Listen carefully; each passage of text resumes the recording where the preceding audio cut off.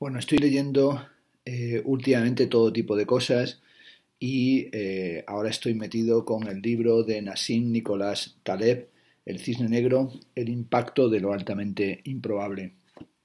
Un libro publicado eh, hace ya un tiempo en la editorial País 2. originalmente es un libro del 2007, traducido en el 2008 por Albino Santos Mosquera. Y bueno, es un libro eh, sobre los sucesos improbables y sobre las consecuencias que acarrean, eh, sean eh, modelos como el de el análisis del éxito de Google, YouTube, los acontecimientos de los atentados del 11 de septiembre y cómo habría que justificar estos asuntos. Nassim Nicolás Taleb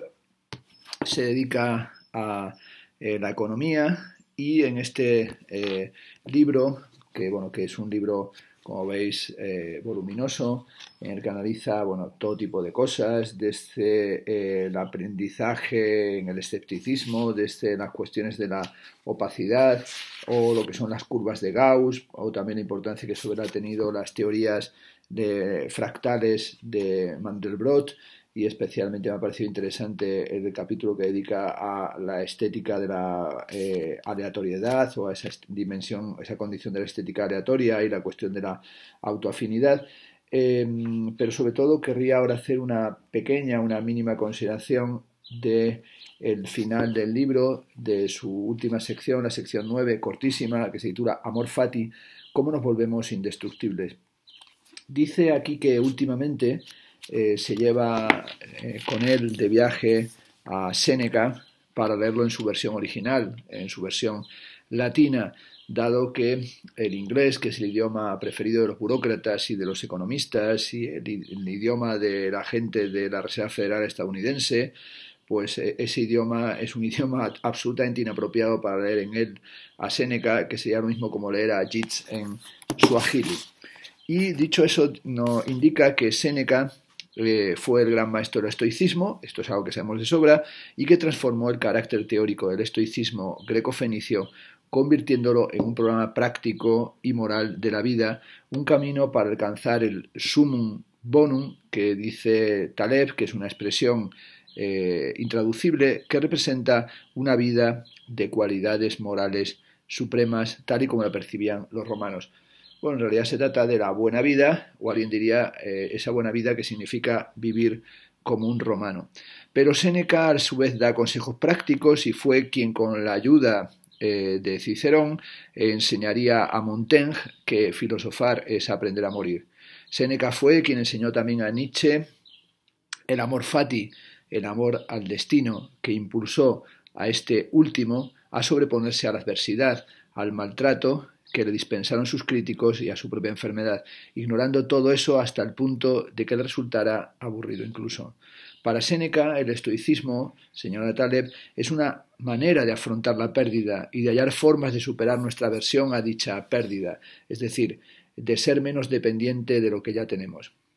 Esto podría recordar la teoría de las perspectivas formulada por Danny eh, eh, Kahneman y sus colaboradores, pero sobre todo lo que le interesa aquí es em, a Taleb señalar que la credibilidad eh, filosófica de Séneca radica en el hecho de que a diferencia de otros filósofos no menospreció el valor de la riqueza o la propiedad porque fuera pobre. Según se dice, Séneca fue uno de los hombres más acaudalados de su época, de su tiempo. Simplemente se preparaba a sí mismo a diario para perderlo todo en cualquier momento.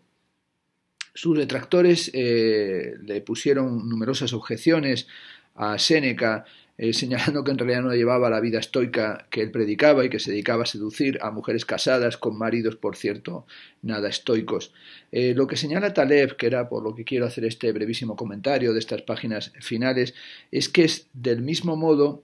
que cuesta más tener buenas cualidades cuando se es rico que cuando se es pobre, también resulta más difícil ser estoico cuando uno es una personalidad adinerada, poderosa y respetada, que cuando uno está en la indigencia, la miseria y la más triste soledad.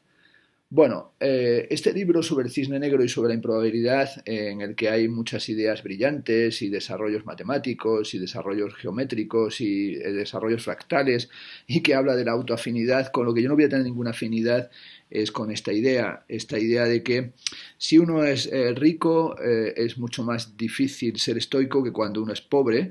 y que si uno es una persona adinerada, poderosa y respetada, eh, le resulta más difícil seguir estos principios eh, filosóficos que cuando es indigente, miserable o está en la más triste soledad. Creo que lo verdaderamente difícil eh, es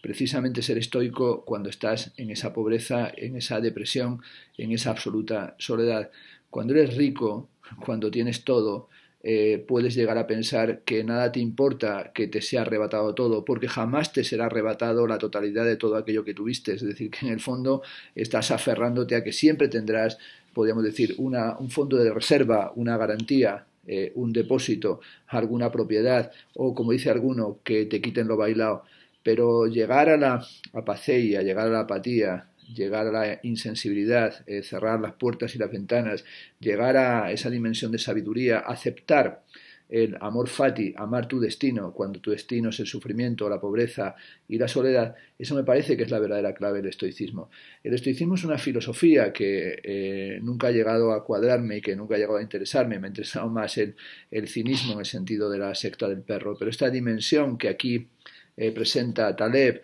este economista interesado por las finanzas y por la aleatoriedad del mercado de valores, de lo bursátil, me parece que aquí lo que revela es un cinismo en el sentido del cinismo contemporáneo. Es decir, me parece que aquí hay un desprecio a ese sufrimiento que no va a ser sublimado filosóficamente, ni nos va a permitir colocarnos, como decía Lucrecio en el de Rerum Natura, en aquellos altos templos del saber desde el que es dulce contemplar cómo los demás naufragan en un mundo que es un completo sinsentido. Uno puede amar su destino y uno puede incluso amar ese destino que te lleva a eh, convertir el suicidio en la resolución heroica de la modernidad cuando tiene todo y cuando ha tenido una vida lograda y cuando ha tenido una vida plena y cuando no está, ha sido acechado por toda clase de pobrezas, de sufrimientos y cuando lo que ha tenido no es otra cosa que carencia, es decir, cuando ha tenido una ausencia que en algunos casos también es una ausencia incluso de afecto. En la última página que se titula Nil Perditi dice así, en la epístola novena de Séneca, el país de Estilbón es invadido por Demetrio, llamado devastador de ciudades. Los hijos y la esposa de Estilbón mueren asesinados. A Estilbón le preguntan cuáles han sido sus pérdidas. Nil perditi, no he perdido nada, responde. Omnia mea mecum sunt. Todos mis bienes están aquí conmigo. Aquel hombre había alcanzado, dice Taleb, la autosuficiencia estoica, la robustez frente a los sucesos adversos, la paceia, en el argot estoico. Dicho otro modo, él no consideraba ya como un bien suyo nada que pudieran arrebatarle. Y esto incluía a su propia mujer. La disposición de Séneca a perderlo todo se había extendido, como sabemos, a su propia vida. Al sospechar que había formado parte de una conspiración, el emperador Nerón le pidió que se suicidara. En la historia ha quedado escrito que él mismo llevó a cabo su suicidio de manera ejemplar, impasible, como si hubiera estado preparándose para ello durante toda su vida. Séneca concluía sus ensayos, escritos en tono epistolar, con la palabra vale, traducida a menudo y erróneamente como adiós. El vocablo latino tiene, el vocablo latino vale, tiene la misma raíz que valor y significa tanto sean fuertes, es decir, robustos, como sean valiosos o dignos por tanto, vale. Eh, querría pensar que efectivamente eh, alguna gente